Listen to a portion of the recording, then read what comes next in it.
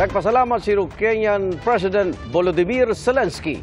Nalalahok ang Pilipinas sa Ukraine Peace Summit na magaganap sa June 15. Sa one-on-one interview ng GMA Integrated News, inihalin tulad din niya sa nangyayari sa Ukraine ang sitwasyon ng Pilipinas sa West Philippine Sea. Saksi, si Maris Umali. Ang mahigit dalawang taon ng gyera sa pagitan ng Ukraine at Russia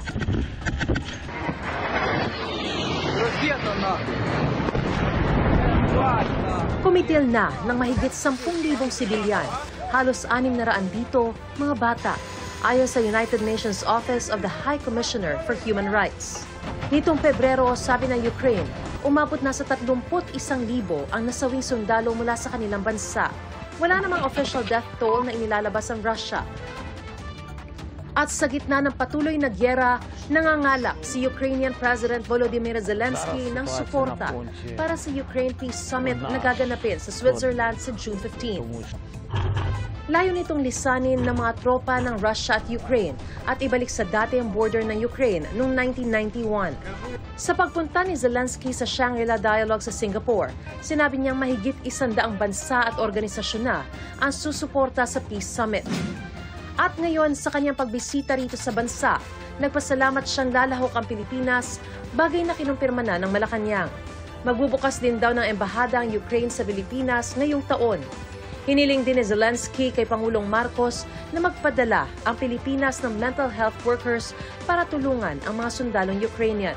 We are very thankful uh, to be in your country and uh, which supports Ukraine, our territorial integrity and sovereignty. And thank you on your support on the, um, in UN nations with your re- resolutions. It is a, uh, it is a great pleasure to, to meet with you uh, to discuss some of the issues that are common to our two countries and uh, hopefully uh, find ways forward uh, for both of us together. Bagamat nasa kalagitnaan ng gyera ang bansang Ukraine, minarapat pa rin ni President Volodymyr Zelensky na bumisita sa ating bansa dahil ganito raw niya pinahahalagahan ang boses ng Pilipinas at ng buong rehiyon sa usaping pangkapayapaan at kalayaan. Of course, for us it's very important not to give Russia possibility to influence on Asia. We are preparing our steps to peace, and of course, for us it's very important that Philippines um, really support our territorial integrity and sovereignty. Now we are starting our peace summit, and we are trying to unite all the countries to give strong message from all the world to Russia, stop the war. You said Russia and China are trying to undermine your peace summit in Switzerland this month. Do you think Russia and China are afraid that the summit would become such a huge success that it could undermine their global influence? And how so? Yes, because they. It's a pity that China joined it uh, to Russia and uh, now helps them to push the leaders not participate in the peace summit. We've been in shock really because we count on all the world. We are open to every country except an enemy, of course, except Russia.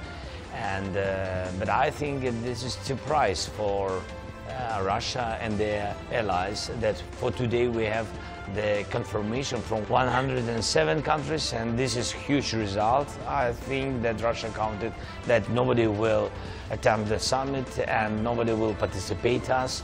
But you see that really mostly the world on the side of peace. Maihahalin tulad nga raw niya sa kanyang bansa nangyayari ngayon sa Pilipinas sa gitna ng panghaharas naman ng China sa mga barko natin sa West Philippine Sea. And that's why we have to, to hold the situation and we have to be together with very strong and clean position that nobody can occupy your territory. Nobody. If we will stay strong, it means that it will give very important signal to other countries not to try, even to think how to occupy it, other independent countries. Para sa GMA Integrated News, Mariz Umali ang inyo, saksi. Arestado ang isang pulis sa Bacolod City matapos umanong barilin ang kanyang kabaro. Sa Ilocos Sur, sugatan naman ang isang lalaki na sasaksak ng bayaw. Saksi si Adrian Prietos ng GMA Regional TV 1 Western Visayas. Nasa way habang ginagamot sa ospital ang 36 anyos sa construction worker sa Suyo, Ilocos Sur. Sinaksak umano siya ng kainumang 70 anyos na lolo. Ayon sa pulisya, naunang umuwi ang sospek at nadatnan sa kanilang bahay ang anak na sinuntok umano ng isa sa kanyang nakainuman. upon knowing na nasuntok, eh, nakita, ng, nakita niya na may ah, damage po sa mukha ng kanyang anak. So, ayun po, ah, siguro kumulo na po yung kanyang dugo and then na kumuha po ng kutsilyo Bumalik ang sospek para kumprontahin ang mga nakainuman pero ang biktima ang napabalingan at pinagsasaksak. Tumakas ang sospek pero naaresto rin ng pulisya. Naharap sa reklamo homicide ang sospek na wala pang pahaya. Sugatan naman ang 38 anyos na lalaki matapos saksakin ng kanyang bayaw sa Santa Catalina, Ilocos Sur. Ayon sa biktima, ginising ng kanyang kapatid ang lasing na sospek para palipatin na higaan. Doon, di doon nga gasawa ti nagkinas na no, nagririn. Jay di naglalumot sa usawon da ma'am, suday jay sim, simong bata. Nagkasagutan ang biktima at kanyang bayaw na nauwi sa pananaksak. Hindi na nagsampa ng kaso ang biktima. Arestado ang isang pulis sa Bacol City matapos barilin ang kabaro. Ayon sa pulisya, naabutan ng sospek na magkasama sa loob ng kwarto ang kanyang live-in partner at ang biktima kaya niya pinagbabaril. Matagal na umanong nagdududa ang sospek na may ibang kinakasamang live-in partner. Previously, may away-away man ang maglibin. Ta mo aga naghalin ang aton nga suspect. Gulpi lang siya nagbalik pagkapon. So siguro gina ah, tagaan niya gid chance ah, kung paano gid ma ano dakop sa akto. Sinubukan ng GMA Regional TV 1 Western Visayas na kunan ng pahayag ang suspect pero tumanggi siyang humarap sa kamera. Isinailalim na ang pulis sa inquest proceedings sa kasong murder. Para sa GMA Integrated News, ako si Eden Prietos ng GMA Regional TV 1 Western Visayas, ang inyong saksi. Kahit tagulan na mga kapuso, matinding init ang naranasan sa ilang lugar nitong mga nakalipas na araw. Bukod kasi sa monsoon break, umiiral din ang easterlies o mainit na hangin galing sa Pacific Ocean. Karina, naitala ang 54 degrees Celsius sa Giwan, Eastern Samar. At bukas, posibleng umabot naman yan sa 50 degrees Celsius. 46 degrees Celsius sa Verac, Catanduanes at 44 hanggang 45 degrees Celsius sa iba pang probinsya. Pero kahit malinsangan, habang wala pang habagat muli, may tsansa pa rin ng ulan dahil sa frontal system at localized thunderstorms. Base sa datos ng Metro Weather, mataas ang tsansa ng ulan sa hapon sa halos buong Luzon at Mindanao, pati na sa ilang bahagi ng Visayas. May matitinding ulan sa Northern Luzon, Mimaropa at Mindanao. Maging handa sa banta na baha o landslide.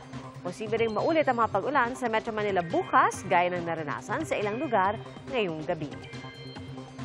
Apat sa walong PDL o persons deprived of liberty na tumakas sa San Jose del Monte Police nahuli na. Base sa investigasyon, nakalusot sila sa exhaust sa CR ng selda matapos lagariin ang metal railing.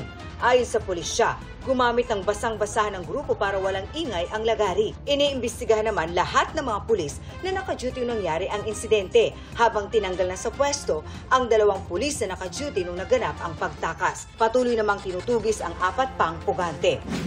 Pilipinas, nakikiusap sa Brunei na maging maluwag sa apat na OFW na nasa death row. Hiling ng gobyerno na kahit mapahaba na lang ang pagkakakulong ng apat na OFW. Nagbabakasakali rin ang gobyerno na mapaaga ang paglabas ng dalawang Pinoy na 70 anyos na nakakulong sa Brunei.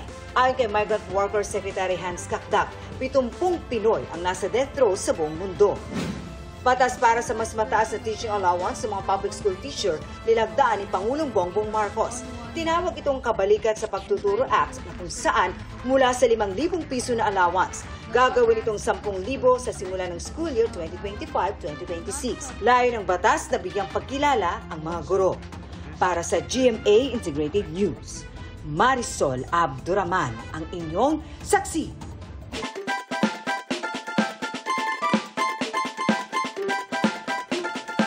Sa unang salang ng saksi foodie, tampok ang putahing Pinoy na sinasabing nakuha natin mula sa mga Espanyol, ang lechon. Tinanong din po namin ng ilang kapuso kung ano-ano ang paborito nilang putahe ng karneng baboy. Ating saksihan. Malutong na balat. Malambot na karne. Nag-uumapaw sa linamnam. Putok-batok ika nga pero ilang dekada ng paborito ng panlasang Pinoy ang lechong baboy. Nagsimula ang lechon sa pag-iihaw ng buong katawan ng baboy hanggang umusbong ang mas tipid na paglilitsyon ng ilang bahagi lang gaya ng ulo, pati ang tiyan na ginagawang katakam-takam na lechon belly. Pumatok din ang iba pang bersyon gaya ng mas maliit na kutsinilyo, kung saan ilang linggo lang ang edad ng inihaw na baboy. Kaboom! Nauso rin ang stuffed lechon gaya nitong pinalamanan ng sari-saring klase ng sausage at patatas. Pero in pa rin naman ang classic na lechon. Yung tamang proseso, yung gandahan mo yung timpla, yung lahat na rekado, huwag mong tipirin para lumasa yung lechon. Dagdag sa panlasa kapag tinambalan ng salsa. Sa mga tindahan gaya sa Laloma, Quezon City, tabi-tabi ng iniihaw ang mga baboy sa ibabaw ng nagbabagang uling.